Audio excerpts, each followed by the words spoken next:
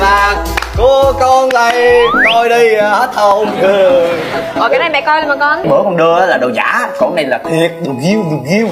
À đồ thiệt đó hả? Giỏi ha. Không có được chửi con.